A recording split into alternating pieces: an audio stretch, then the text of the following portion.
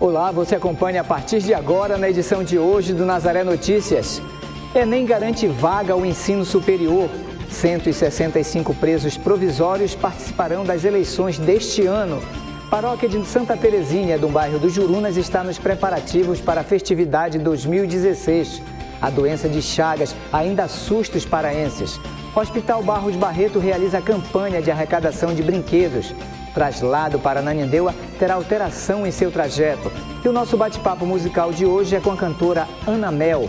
Hoje é sexta-feira, 16 de setembro, e o Nazaré Notícias já está no ar.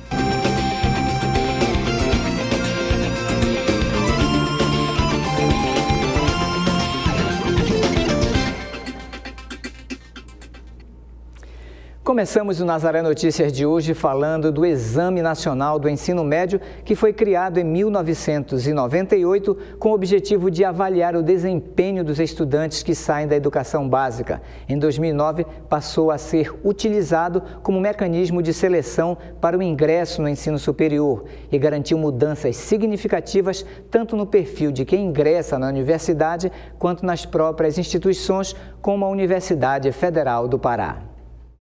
Quando passou a ser utilizado, o Enem não alterou muito a metodologia na Universidade Federal do Pará para o ingresso do estudante no ensino superior. As provas que nós elaborávamos até quando aplicamos essas, elas tinham a mesma forma de ser criada, a metodologia de se questionar o aluno o assunto que desejávamos cobrar dentro do vestibular. Então o Enem veio com essa mesma formatação de como elaborar a prova, a visão que o aluno tem que ter do assunto e a resposta que ele vai buscar a respeito do, do que ele compreendeu e assim ele assimilou. O formato de cotas também já existia, mas o Enem acrescentou 25% das vagas para quem é de família de baixa renda. É, já vimos aplicando o sistema de cotas quando, em 2012, veio a lei que seria para todas as universidades públicas, e nós já estávamos adequados. Nós já tínhamos 50% para cotista, 50% para não cotista. Dessas cotas, 40% era para estudantes de cor, e o que adentrou como elemento novo que a lei trouxe foi exatamente atender a pessoas de baixa renda, onde 25% das vagas cotistas elas são distribuídas para essas pessoas. Além dessas mudanças, o Enem ampliou o alcance da avaliação da UFPA. Antes, a instituição chegava a apenas 19 cidades. Hoje, estudantes de 79 cidades do Pará têm a chance de ingressar na instituição. Hoje, o Enem, com o apoio logístico que, ele, que o MEC tem, tanto dos Correios como das Forças Armadas, atingiram 79 cidades dentro do estado do Pará. Isto veio facilitar jovens que haviam encerrado ou estão encerrando o ensino médio e desejavam ingressar numa universidade. São 79 cidades dentro do estado que eles podem se inscrever, fazer a prova do Enem e posteriormente quando uma das universidades do estado abre o concurso, que agora as inscrições são todas online, as pessoas mesmo lá das suas residências podem se inscrever, concorrer e torcer pelo sucesso. É. Para a região norte, o Enem também aponta um diferencial, uma vez que a avaliação do ensino apresenta um percentual menor que nas demais regiões do país. Chegamos à conclusão que existe uma defasagem de aproximadamente 10% em relação à média nacional. Aí o que o CONCEP, Conselho Superior de Pesquisa, resolveu fazer? Criar uma, uma bonificação a todos os alunos que cursaram o, todo o ensino médio dentro do estado do Pará e dos demais estados da região norte. Ganham 10% de bônus, com isso a média chega a se equiparar com as demais dos outros estados. No ano passado, cerca de 125 mil estudantes se inscreveram para vagas na UFPA. Atualmente, a instituição oferece 7.500 vagas. É uma das maiores do Brasil em número de oferta. Quem concorre a essas vagas hoje tem um perfil diferente de 16 anos atrás. Inicialmente achávamos que muitos dentro da universidade achavam que a, a cota iria cair a média dos alunos. Mas nós temos acompanhado a evolução dos estudantes cotistas, que na realidade chegamos à conclusão de que as cotas abriu a oportunidade para o ingresso. Isso sim. Mas eles aqui dentro, é, eles fazem a mesma forma de querer aprender, de querer colar grau.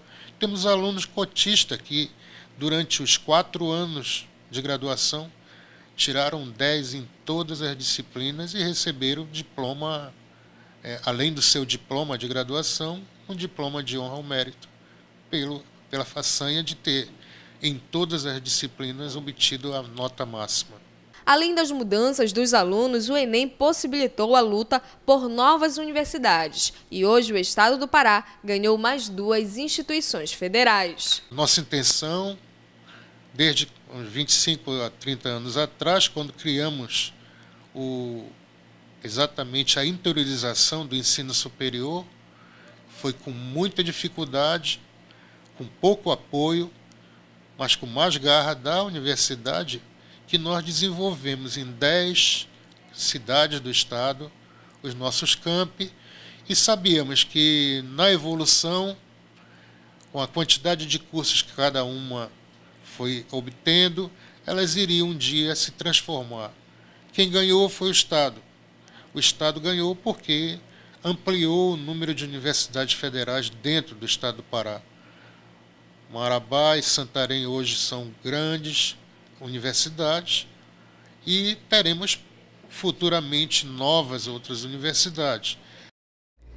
O Tribunal Regional Federal da Primeira Região ordenou que a empresa Vale deposite mensalmente 3 milhões de reais para as três aldeias Chicrim afetadas pelo empreendimento Onça Puma de extração de níquel na região sudeste do Pará a partir do próximo dia 19 de setembro e de acordo com a decisão do desembargador Antônio Souza Prudente, a Vale terá que depositar mensalmente um milhão para cada uma das três aldeias Chicrim. Os valores deverão ser repassados até que a Vale cumpra as obrigações de compensação ambiental relativas ao empreendimento nunca efetivadas. A decisão atende pedido das associações indígenas Chicrim e teve parecer favorável do Ministério Público Federal. No mês passado, Chicrim e MPF assinaram um termo de ajuste de conduta que definiu exatamente como serão aplicados os recursos da compensação ambiental da onça-puma.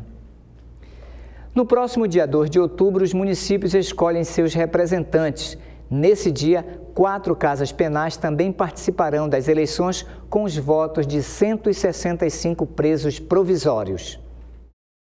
Os centros de recuperação de Breves, Paragominas, Redenção e Tomé Açu participarão das eleições municipais. Foi assinado um termo de cooperação entre a SUSIP, o Tribunal Regional Eleitoral, a Defensoria Pública, a OAB, para que nós pudéssemos viabilizar a implantação de sessões eleitorais no sistema penitenciário e assim poder assegurar o exercício do voto para a população privada de liberdade que seja constituída de presos provisórios, aqueles que ainda não têm uma sentença condenatória transitada em julgado e, portanto, ainda podem, em tese, exercer o voto. Uma das dificuldades de se realizar a votação dentro das unidades prisionais é a questão da falta de documentação dos internos do sistema penitenciário. Pensando nisso, a Justiça Eleitoral realizou no mês de maio deste ano, dentro das casas penais, uma ação para viabilizar a documentação necessária a partir do interesse de cada preso provisório. Não é uma tarefa fácil, é, principalmente porque nós temos presos de várias comarcas de culpa que estão recolhidos em outras unidades prisionais, por vezes afastadas da sua comarca de culpa, pelo fato de que na sua comarca de culpa não há uma unidade prisional naquele município. Então ele é recolhido em um município próximo onde há uma unidade prisional. Por conta disso, é necessário verificar, primeiro, se aquele interno ele tem interesse em mudar o seu domicílio eleitoral, né, para que ele possa exercer o voto, então, em um município onde vai haver uma urna.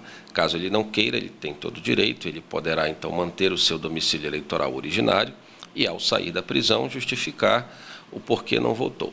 E para aqueles, então, que foi possível fazer o, toda o recolhimento da documentação necessária para que ele possa ser inserido naquela sessão eleitoral daquele município, daquela unidade prisional, esses aí então vão poder exercer o voto. No dia 2 de outubro, 165 presos provisórios votarão em candidatos de quatro municípios. Para esse momento, a SUSIP realiza a organização da segurança. A unidade prisional, ela se prepara para receber a urna eletrônica. Né? As pessoas que irão trabalhar como mesários, como presidente de mesa e mesários, serão os próprios servidores daquela unidade prisional, que vão ser vão atuar naquele momento como presidente e mesários.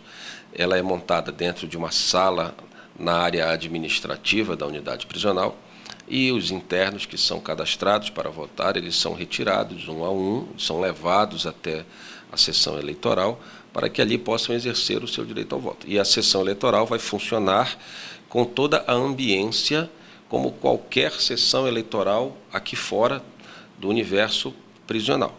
Ah, inclusive, nessas sessões eleitorais poderá haver também a presença de fiscais dos partidos, dos candidatos, de todos os partidos que concorrem ao certame eleitoral sem problema. Claro, desde que esses fiscais estejam devidamente cadastrados na Justiça Eleitoral nessa condição e passem pelo processo de controle de acesso para adentrar a unidade prisional, já que é um espaço de segurança. No período de 19 a 30 de setembro acontece em todo o país a campanha nacional de multivacinação. O dia acontece no sábado, dia 24 de setembro. Caroline Guimarães tem os detalhes. O objetivo da campanha é atualizar o calendário de vacinação de crianças e adolescentes. Para falar sobre essa ação, está aqui ao meu lado a coordenadora estadual de imunização, Jaira Taide. Muito obrigada por conversar conosco. Tem um foco maior para os adolescentes essa campanha. É verdade. Neste ano, a campanha nacional de multivacinação convida os adolescentes de 9 a 14 anos para comparecer aos postos. E aí nós vamos atualizar a vacina triviral, sarampo, cachumba e rubéola. E também convidamos as meninas de 9, 10, 11, 12, 13, 14 e 15 anos para irem até o posto para receber a primeira ou segunda dose da vacina contra o HPV. Os adolescentes é, são uma preocupação maior, tem uma dificuldade maior de atingir esse público? É o público adolescente, ele pouco frequenta as unidades, mas ele também sabe que as vacinas são proteção e que ele já vacinou quando criança. Agora é o momento de que tem algumas vacinas que precisam de uma dose de reforço para protegê-los mais. E é por isso que nós estamos aguardando todos os adolescentes de 9 a 14 anos aos postos de vacinação. É um chamamento também para os responsáveis e a campanha já inicia na próxima segunda-feira. É, nós temos exatamente do dia 19 ao dia 30 o grande momento dessa multivacinação. Nossas salas de vacina terão bancadas esperando essa população. E nós contamos com os responsáveis, com os pais, com a vizinhança, com a comunidade em geral Precisamos proteger a nossa população e esse é um grande momento. Então, todos aos postos de vacinação, inclusive todas as crianças menores de 5 anos com o cartão de vacinação. E no dia 24 tem o dia D de vacinação. É o dia 24 é o grande dia da mobilização nacional, é onde teremos postos de vacinação em escolas, em centros comunitários, em praças. É um grande momento também de vacinar, mas todo dia as salas de vacinas estão abertas esperando essa população. Então vamos lá, ter uma boa campanha de multivacinação bem, a vacina é uma forma de proteção. Então, você é de casa, que é responsável ou que é o adolescente quer fazer a vacinação, basta comparecer aos postos de saúde. Lembrando que a campanha inicia nesta segunda-feira. Carolina Guimarães para o Nazaré Notícias. E ainda falando sobre saúde, pesquisadores brasileiros e britânicos conseguiram confirmar a relação casualidade entre vírus da Zika e a microcefalia em recém-nascidos e recomendam que as autoridades de saúde em todo o mundo se preparem para uma epidemia global de casos de microcefalia e outras complicações ligadas ao vírus. Pedem ainda que o Zika seja oficialmente adicionado a uma lista de infecções que podem ser transmitidas para gestantes e seus bebês, como a toxoplasmose, a rubéola e o herpes. O Zika vírus já foi detectado em 61 países, a maioria deles nas Américas, segundo a Organização Mundial da Saúde, que em fevereiro declarou a epidemia uma emergência internacional e reiterou o status no último dia 2 de setembro. A Agência de Inovação Tecnológica da UFPA promove na próxima semana a qualificação para estudantes e empresários. A programação será de minicursos voltados para o aperfeiçoamento do perfil empreendedor dos participantes. Mayra Leal tem mais informações. Marcos, estão disponíveis 80 vagas para as atividades nos dias 19 e 20 de setembro. Para se inscrever, os interessados devem procurar o site da UFPA até a véspera do evento. Lembrando que os minicursos ocorrem no auditório da Universitec, no campus profissional da Universidade Federal do Pará, no bairro do Guamá. Mayra Leal para o Nazaré Notícias. A paróquia de Santa Terezinha, no bairro do Jurunas, está nos preparativos finais de sua festividade, que ocorre dos dias 22 de setembro a 2 de outubro. Entre as ações, a paróquia realizou nesta semana um retiro espiritual com a presença do padre Antônio Maria. Foram três dias de espiritualidade. Na igreja de Santa Terezinha, no bairro dos Jurunas, centenas de paroquianos se prepararam para a festividade em reflexão. O tema da Semana da Misericórdia é o mesmo da festa. No Jubileu da Misericórdia, cantemos com Santa Terezinha as misericórdias do Senhor. A festividade, né, para nós, tem início com retiro é, são três dias de retiro, onde o nosso pároco, Monsenhor Marcelino, nos presenteou a comunidade né, com a presença do Padre Antônio Maria.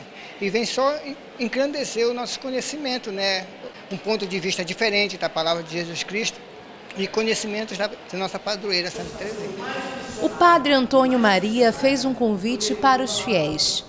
Viver a misericórdia a exemplo de Santa Teresinha grande exemplo que ela se sentiu sempre muito fruto da misericórdia de Deus. É, é, é bonito demais ela quando começa a escrever é, as memórias da sua infância, ela, ela já diz, né? Eu sou uma criança é, que deve muito à misericórdia de Deus. Sempre senti essa misericórdia infinita de Deus para comigo. E toda a vida foi isso, né? Ela, ela se sentiu sempre muito pequena, sem méritos, mas Deus é misericordioso mesmo, né? E é interessante que Santa Teresinha foi uma santa que, segundo o confessor dela, e ela mesma testemunha isso num de seus escritos, ela não soube o que foi o pecado mortal. Né? Teve as suas faltinhas, claro, né? Mas então e assim mesmo, com tanta graça de Deus, ela se sentia é, alvo da misericórdia de Deus. Né? Deus tratava a miséria dela com coração, com amor. O padre também falou sobre a alegria de Via Belém. Dessa vez, para uma programação fora do calendário do Círio de Nazaré. Eu, eu me sinto muito feliz estando em Belém, sinceramente não só no Sírio. O Sírio, então, é a coroação de todas essas alegrias, né? Mas estou muito feliz por estar aqui junto do Monsenhor Marcelino, que eu conheço há tantos anos. Foi um dos primeiros padres que eu conheci do Pará. Amor que cura, amor que salva,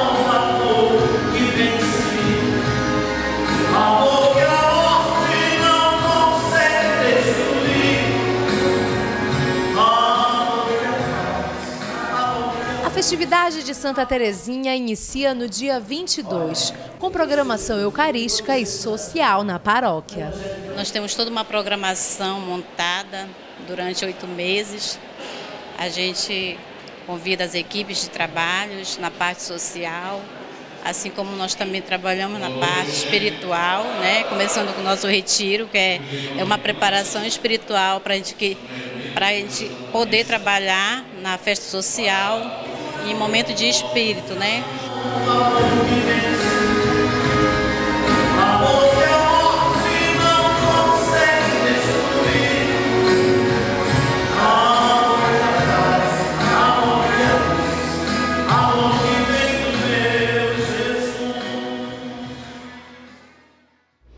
E a missa de encerramento da festividade no dia 1 de outubro será transmitida ao vivo pela TV Nazaré.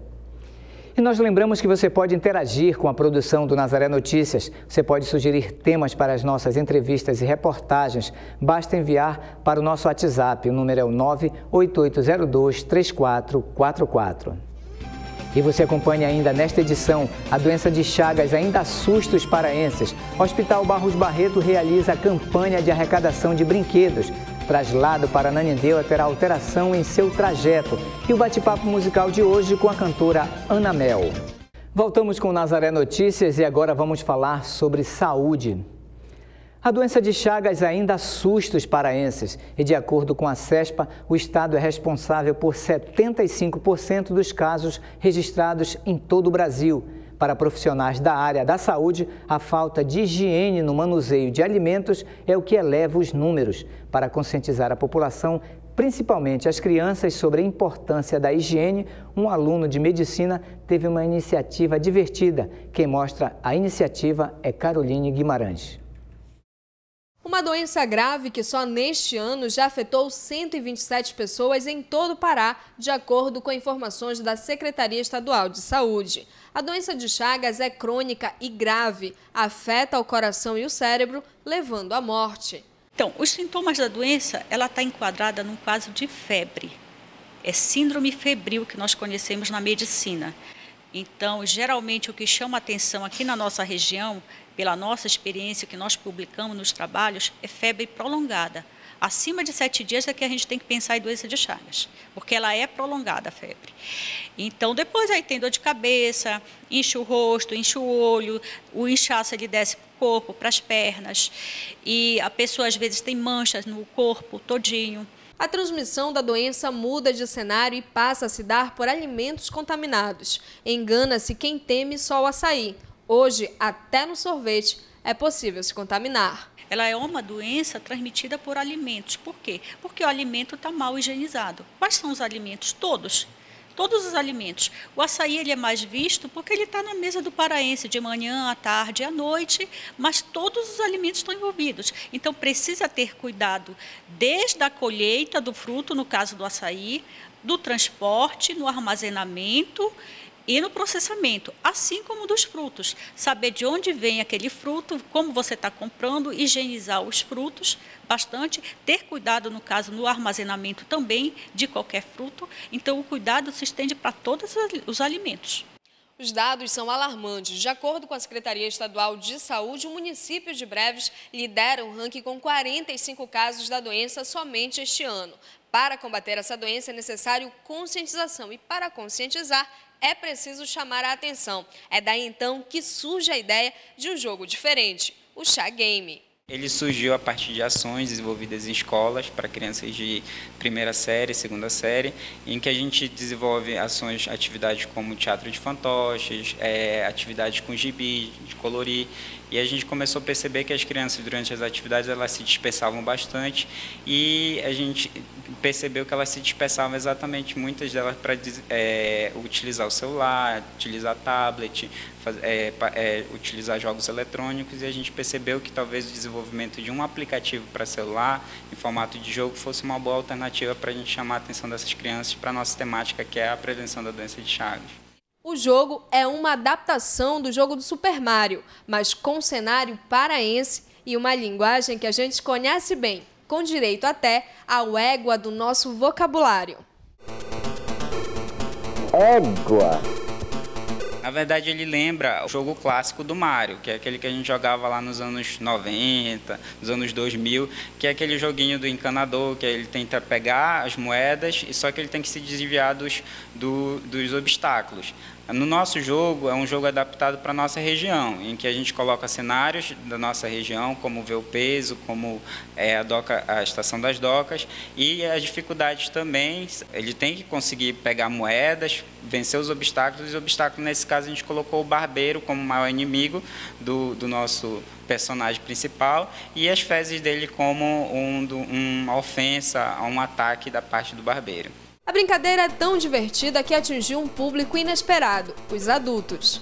A gente já levou o jogo em algumas escolas e a gente percebeu que a interação é muito mais é, positiva, as crianças realmente é, param para jogar, param para prestar atenção na nossa temática. Depois da nossa ação, a gente tem uma avaliação, a gente utiliza alguns indicadores e a gente percebeu que as crianças têm tido uma positividade, é, têm tido uma retenção do conhecimento com relação à temática muito maior do que a gente vinha tendo antes do aplicativo. E aí, além disso, tem alcançado adolescentes também, que não era nosso alvo, mas a gente tem ficado muito feliz com a repercussão junto ao público mais adulto. Égua!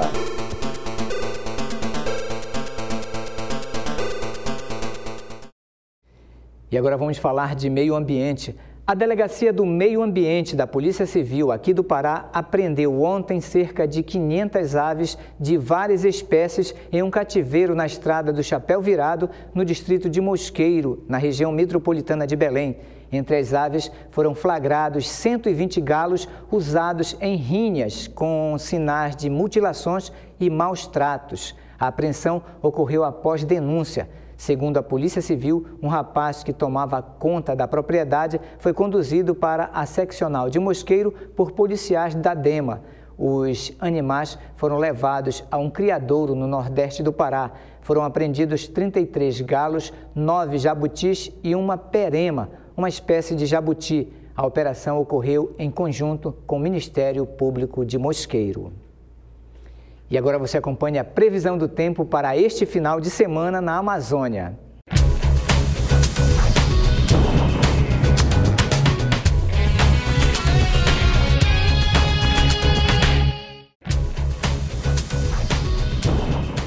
No município de Abaetetuba, Nordeste Paraense, o final de semana será com pancadas de chuva durante o dia. A temperatura mínima será de 24 graus e a máxima pode chegar a 34. Em Salinópolis, no estado do Pará, o final de semana será de muito sol sem possibilidade de chuva. A temperatura ficará em torno de 27 e 30 graus. E em Carutapera, no estado do Maranhão, os dias serão com sol coberto por nuvens, sem previsão de chuva. A temperatura mínima fica em 26 graus e a máxima chega a 32.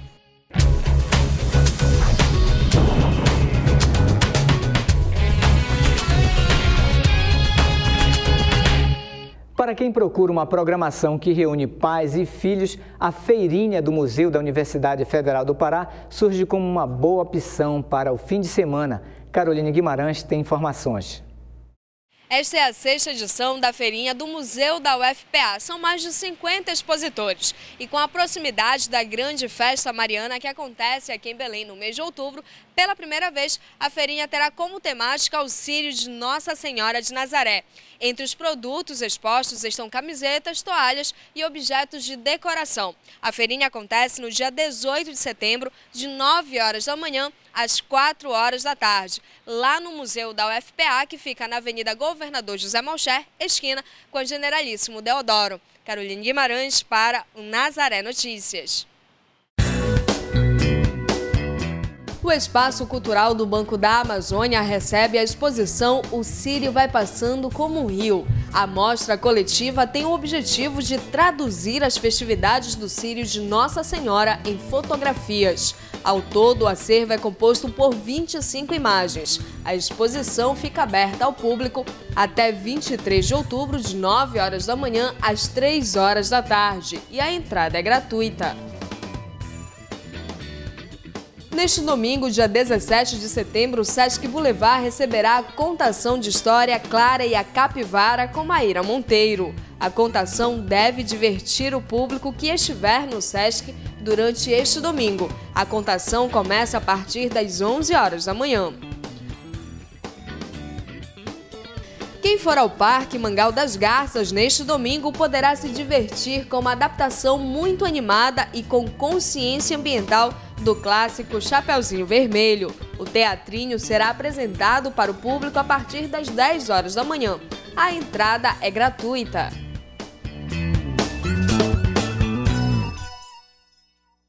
Formada por voluntários, pacientes e funcionários, a Associação dos Amigos do Hospital Barros Barreto realiza a campanha de arrecadação de brinquedo. Esses brinquedos serão doados para as crianças atendidas pelo hospital. Mayra Leal tem informações. Marcos, a ideia é arrecadar mil brinquedos para as crianças que são atendidas aqui no Barros Barreto. A ideia é distribuí-las no período do Dia das Crianças. Eu estou aqui com o João Batista, que é presidente da Associação dos Amigos do Hospital Barros Barreto e que vai conversar um pouco conosco sobre essa campanha. João, um prazer conversar com você, obrigada por conversar conosco. Me fale um pouquinho, essa já é a terceira edição, não é? É a terceira edição que nós fazemos, né, terceiro ano. E o primeiro ano nós arrecadamos uma faixa de 500 brinquedos e o segundo ano arrecadamos 600 brinquedos. A nossa meta esse ano é de arrecadar mil brinquedos. Então a ideia é promover uma manhã, um dia recreativo para essas crianças. Além de brinquedo, vocês precisam de outras coisas? É, além do brinquedo, nós precisamos que vamos distribuir lanche para as crianças, pipoca, esquilha, fazer uma brincadeira com as crianças, é, ilusão, ilusivo do, do Dia das Crianças. São muitas crianças que são atendidas aqui no Barros Barreto. Me conte um pouco sobre essa realidade dessas, dessas crianças. Ah, as crianças daqui, interna aqui do Hospital Zona Barreto, é uma faixa de 40 a 50 crianças. Agora, em torno disso, é uma faixa de 300 crianças que durante o dia que passam por aqui. Entendi. E assim, como é que as pessoas podem ajudar também nessa campanha? É, as pessoas podem ajudar de uma maneira assim, ou pode trazer aqui no Hospital João do Barro Barreto, ou pode me ligar para mim que eu vou lá buscar a doação. E quem quiser deixar aqui no Barros Barreto pode entregar onde? E que tipo de material vocês estão aceitando? Nós também precisamos também de fraldas, fralda geriátrica, fralda para criança, entendeu? Nós precisamos de tudo isso. Precisamos de material higiênico também. Nós trabalhamos também com material higiênico, nós doamos o material higiênico para o, é, os pacientes do Hospital do Barro Barreto. Tem muitas pessoas que vêm do interior, não têm recurso e a gente o nosso trabalho, nosso foco é esse. A gente pega o material higiênico, a gente doa para essas crianças, para essas pessoas, né, casos enfermos. A gente também faz doação de toalhas, toalha de banho para eles, roupas né, também. A gente, muito paciente, que acompanhante que vem de fora, do interior, às vezes não traz nenhuma roupa, nós, nós também nós temos um bazar que funciona dentro da estação do Barro Barreto, isso é para garear fundo. São roupas usadas que nós é, arrecadamos é, pessoas doam essa roupa, a gente troca por moeda para comprar fralda, parte de dente, sabonete, material higiênico, é o que é necessário para o paciente. Então, além dessa campanha de arrecadação de brinquedos, a doação aqui para os pacientes do Barros Barreto é contínua, né? Isso, é contínua. Todos os dias. Todos os dias a gente te doa fralda e material higiênico. Tá certo, então, seu João, muito obrigada por conversar conosco. Então fica aí o convite para participar dessa campanha tão bonita. Quem quiser fazer o Dia das Crianças, das crianças atendidas pelo Barros Barreto, mais feliz, é só trazer aqui os brinquedos e outros materiais para todos os pacientes do Barros Barreto. Marcos, é com você. E você pode enviar vídeos para exibirmos aqui no Nazaré Notícias. Faça vídeos de no máximo 30 segundos mostrando sua devoção a Nossa Senhora de Nazaré ou com mensagens para seus familiares e nós exibiremos aqui no Nazaré Notícias. Envie pelo WhatsApp 98802 3444. A romaria que marca o início das procissões do Círio de Nazaré, o traslado que leva a imagem peregrina pela região metropolitana de Belém terá mudança neste ano. A procissão da segunda sexta-feira de outubro terá seu percurso alterado. Caroline Guimarães conversou com o diretor de procissões e tem mais informações. Nós estamos aqui na Basílica, Santuário de Nossa Senhora de Nazaré, onde tradicionalmente sai o traslado da imagem de Nossa Senhora de Nazaré para Ananindeu. Esse ano, o traslado, que é a maior procissão que nós temos na festa mariana, está com algumas mudanças. Para falar sobre essas mudanças, está aqui ao meu lado o diretor de procissões, Antônio Souza. Muito obrigada, diretor, por conversar conosco. Mudanças que foram necessárias. É, primeiramente, bom dia a todos, né? As mudanças esse ano. Uma é o retorno ao, ao, ao percurso original, que ele tinha sido alterado há dois anos devido a uma obra que existia numa das vias na, pela prefeitura de Ananideu. Esse ano a obra já está concluída e ela retorna ao normal. Ou seja, quando na BR nós entrarmos na passagem São Benedito, nós iremos, em vez de pela Alameda São João, que foi ano passado, vamos pela Jarbas Passarinho e o retorno e o percurso continua igual o do ano passado. A outra alteração é que esse ano a gente decidiu e virmos no retorno na barreira da Polícia Rodoviária Federal, não irmos até Marituba. É bom esclarecer essa situação, porque às vezes as pessoas pensam que a gente está penalizando um município. No fim de semana que antecede a sexta-feira, o município de Marituba recebe uma grande homenagem. A imagem de Nossa Senhora vai à noite, no dia 29 de setembro, ela vai à noite, chega do mesmo jeito, com a Polícia Rodoviária Federal, em carro Berlinda, recebe uma grande homenagem pelo município à noite, pernoita no município, fica em vigília até de manhã e durante todo o sábado percorre todo o município. Então ele tem dois dias municípios. Então o que nós pensamos, você ir de novo na outra sexta-feira, novamente no mesmo lugar, isso causava um grande transtorno. Só esse retorno nós perdimos quase duas horas para fazer. Isso, uma BR fica congestionada, fica interrompida, causa grande transtorno à população. Então a gente não vê que, que haja prejuízo ao município. Pelo contrário, o que a gente está tentando é segurança. E a procissão, pela sua extensão, é muito cansativa. Né? Muito desgastante. São 45 quilômetros esse ano, vai chegar quase 11 horas de procissão e nós temos que estar no dia seguinte, 3 da manhã, para preparar a rodoviária. Então, isso tudo existe desgaste físico dos órgãos de segurança, dos órgãos de saúde, clero, diretoria, guarda. Então, a gente está pensando um pouco de fazer tudo da melhor forma, sem prejuízo para o povo paraense. Agora, então, quem mora em Marituba pode fazer o seu momento de oração, pode também fazer é, essa aproximação com a imagem de Nossa Senhora de Nazaré um pouco antes do traslado. E não, eu quero dizer que a, homenagem feita na, no dia, no, na sexta-feira anterior, ela é muito maior e muito mais bonita do que a de, da, do traslado, que é só uma passagem da imagem. Então lá não, ela fica com eles. Né? Eu sei que para todos nós, se eu pudesse, imagem de Nossa Senhora passaria todos os dias na minha porta da minha casa. Mas às vezes a gente tem que compreender toda uma infraestrutura. Belém não é igual a 10, 20 anos atrás. O número de veículos, viaturas, caminhões aumentaram. Então a gente sabe que uma BR interditada por mais de duas horas causa um grande transtorno à população. Isso sem contar com os romeiros que também acompanham desde a saída aqui da Basílica Santuário. Justamente, romeiros, bicicleta, pessoa com bicicleta, caminhando, pessoas que vão até correndo daqui até lá. Então a gente pensa em tudo isso. Então o que a gente pede é a compreensão da população. Ninguém está aqui querendo punir, tirar de alguém. Pelo contrário, a gente quer que todos tenham segurança, tranquilidade para participar de todas as procissões. Agora, com essa mudança, em quanto tempo mais ou menos deve ser reduzida essa procissão que é considerada mais longa? Não, ela é mais longa e é tempo e distância. A gente tenta esse ano baixar em torno de uma hora. A nossa pretensão é chegar por volta das 19 horas, né, para a realização da missa na matriz de Ananindeua. Né? Inclusive, nosso arcebispo que faz essa missa, ele logo depois ele tem que voltar ir para sua residência e voltar às três, meia, quatro horas para começar a rodoviária. Então, tudo isso a gente calcula para que tenha um, como é que se diz, uma tranquilidade para essa movimentação dê tudo certo. Agora, as tradicionais homenagens que acontecem durante o traslado, elas se mantêm? Todas as homenagens, inclusive até outras que já apareceram, que vão fazer durante o percurso, todas são contempladas. Nenhuma é, homenagem será tirada do roteiro da, da, do percurso. E para as demais procissões, existem mudanças previstas ou não? Se mantém? Não, só duas procissões que são todo ano mudam, né?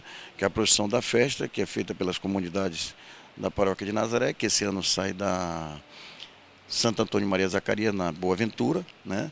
e a da Procissão da Juventude, que também todo ano é eleito uma paróquia do Grupo da Juventude, que esse ano foi a Mãe da Divina Providência, que vai sair lá da Providência, perto da Júlio César. E a Romaria dos Corredores, que é a mais recente das Romarias, ela também tem crescido muito, né, nesse sentido. É, tem crescido muito. Inclusive, não só ela como do ciclista esse ano, nós estamos em contato com os, os grupos que correm, né, que, que tem esse tipo de atividade na paróquia. Esse ano também nós temos uma novidade, tanto na do ciclista como dos corredores, nós vamos lançar a camisa oficial dessas romarias. Para poder a pessoa guardar de lembrança, da recordação, é pedido por eles também, né? Então a gente está fazendo tudo para que aumente e incorpore mais essas duas procissões. É importante também que as pessoas tenham cuidado e respeitem muito o trabalho da organização, porque vocês estão trabalhando há muito tempo para dar conta de tantas procissões que fazem essa homenagem, essa bonita homenagem à Mãe de Deus. É, na realidade, nosso trabalho acontece a partir de dezembro do ano passado, quando nós tomamos posse. Né? E a gente vê com muito cuidado todas essas, essas situações, porque na realidade, cada ano tem outras alterações nas cidades, ruas novas, mobilidade, tudo a gente tem que levar em consideração. Né? Belém, há 20 anos atrás, tinha uma população, hoje tem outra. Então, todos nós temos esse cuidado. O nosso principal motivo é, o meu principal objetivo, não prejudicar qualquer comunidade, qualquer pessoa que queira participar. Apenas alguns detalhes acontecem para poder facilitar o trabalho do, da organização. Com relação a esse, a esse traslado para Ananindeua, né, existe é, um grande, uma grande movimentação tanto na Almirante Barroso quanto na BR-316, mas a procissão ainda conta com a compreensão das pessoas, né? porque muita gente para ao invés de reclamar do trânsito, a gente vê essa participação também. É, realmente é, é uma procissão muito longa. Muitas das vezes as pessoas né, dizem assim, mas por que cortou isso, cortou aquilo? Você imagine 45 quilômetros de procissões, em torno de 11 horas de trajeto povo todo na rua, um calor, nossa cidade é, é, muito grande. Então, às vezes as pessoas dizem, poxa, mas por que tão pouco, tirar esse pouco? Mas é porque cada minuto ou distância que a gente economize facilita todo o desgaste dessas pessoas que estão envolvidas. Porque nós não saímos daqui a partir de 8 horas, nós estamos trabalhando para sair o traslado. Desde 6 da manhã nós estamos aqui, todas as equipes trabalhando para montar a saída da produção. Diretor, muito obrigada por suas informações. Eu tenho certeza que as pessoas acabam compreendendo. Afinal de contas, é um momento de fé e não um momento de discussão e de briga. Né? Com certeza, que a gente quer que nosso povo tudo seja contemplado. Peço perdão às pessoas que muitas vezes querem que a imagem passe várias vezes na sua casa, como eu gostaria que todo dia passasse na minha. Mas com certeza ela estará contemplando todos nos mesmos como do ano passado muito obrigada, diretor. Então é isso, né? Fica essa questão da compreensão e, claro, isso não, não, des, não desmotiva e ainda assim o momento de fé, o momento de devoção se torna cada vez mais bonito. Se você tiver dúvidas, quiser mandar sugestões de entrevistas para gente, basta mandar para o nosso WhatsApp. E a Pastoral do Turismo realiza a terceira edição do Seminário de Turismo Religioso o evento busca fortalecer as ações de acolhida e planejamento do Sírio com relação aos visitantes que vêm de fora para Belém. O seminário conta com um público de estudantes de turismo, serviço social e administração, além de profissionais e paroquianos. O seminário ele nasceu em 2014 com o objetivo de nós aprendermos mais sobre o turismo religioso sendo que a pastoral ela estava iniciando aqui em Belém, então nós não tínhamos muito conhecimento sobre o potencial e os trabalhos que eram desenvolvidos dentro do turismo na região metropolitana. Então o seminário ele vem principalmente para dialogar sobre essas atividades e o que pode ser feito para melhorar. A ideia é fortalecer o turismo durante a festa mariana e dar suporte aos visitantes que vêm para Belém. Ao longo das edições, nós já temos dois projetos que serão apresentados hoje aqui no seminário que são resultado das outras edições, como por exemplo o calendário dos Sírios. No primeiro seminário nós falamos sobre sírios do meu Pará. Né? Então, nós sabemos que tem vários sírios nos municípios, mas não temos conhecimento de qual a data, o período, se vai participantes ou não. Então, essa foi uma questão que surgiu no primeiro seminário e hoje ela vai ser apresentada como resultado.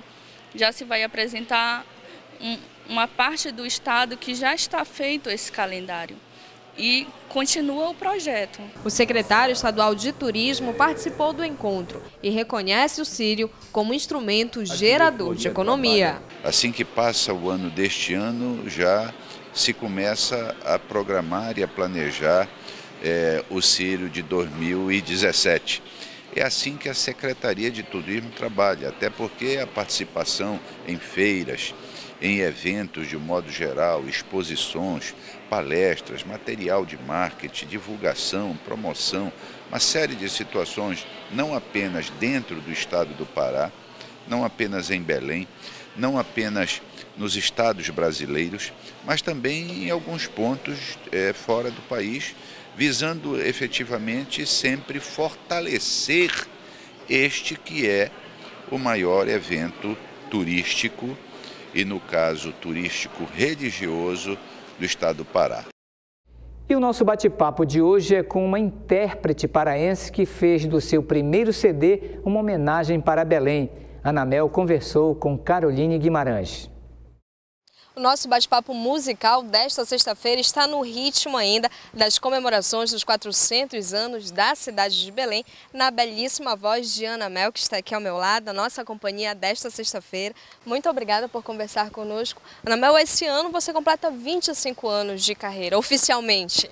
Na realidade, Carolina, já completei 25 anos no ano passado e nós estamos divulgando esse meu trabalho, essa minha trajetória musical né, que a gente vem trabalhando, é, proporcionando a Belém é, e valorizando os artistas, com canções de grandes compositores como Márcio Montoril, Deise Puget, Pedrinho Cavalero, a Lídia Maria, enfim, né, e está retratando no meu CD Cheiro do Pará.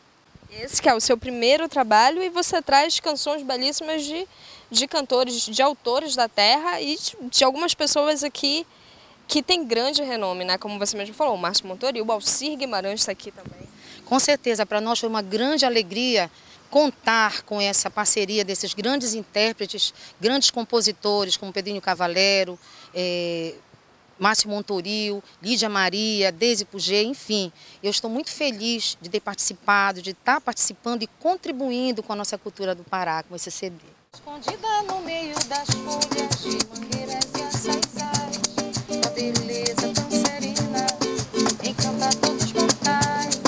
E aonde quer que eu esteja, pra te quero logo voltar. E aonde quer que eu esteja, pra te quero logo voltar. Agora nós falamos de 25 anos de carreira e ao longo dessa trajetória você tem profissionais que lhe acompanham também, que fazem parte né, desse, dessa carreira toda. Com certeza, eu não poderia deixar de falar do meu, meu grande companheiro e meu esposo, Roberto Magalhães, meu percussionista, que está acompanhando aqui essas canções, e o meu grande amigo, meu irmão espiritual, Pedro Dias, que vem lá do Piripiri, que já tem mais de 30 anos nessa caminhada, né? Que só na minha trajetória musical são 25 anos que ele vem acompanhando a gente no violão e fazendo esses arranjos maravilhosos. E também uma outra pessoa que eu, que eu tenho uma grande, muito, uma gratidão, é um grande músico, Betinho Tainara, ele e o Ziza Padilha que fizeram esses arranjos maravilhosos no meu CD Cheiro do Pará. E eu fico muito feliz com essa, com essa realização. Com certeza. E para quem gosta de Anamel, curte Anamel, tem novidade já para esse ano de 2016? Com certeza, pessoal. Se Deus quiser, Nossa Senhora de Nazaré, valei-nos, estaremos né, fazendo a nossa, nossa, comemorando o nosso meu primeiro DVD solo, gente, retratando todos os meus 25 anos de carreira e eu quero contar com a presença de todos vocês, inclusive meu fã-clube lá de Santa Isabel, as Abelhas.